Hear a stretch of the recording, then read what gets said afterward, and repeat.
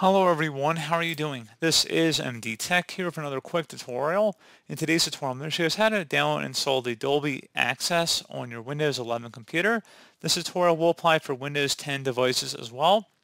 And we're going to go ahead and jump right into it. So all you have to do is open up the search menu, type in Store. Best result should come back with Microsoft Store. Go ahead and open that up. You want to go ahead and search for Dolby Access. Should be one of the best matches here. Go ahead and open that up. And then you want to select the free button up at the top. So go ahead and left click on that.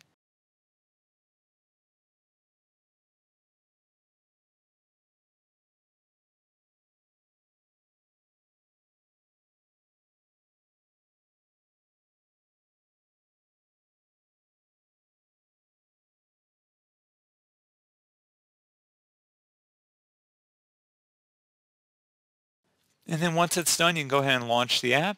And that's pretty much it. So pretty straightforward process, guys. I do hope I was able to help you out. And I do look forward to catching you all in the next tutorial. Goodbye.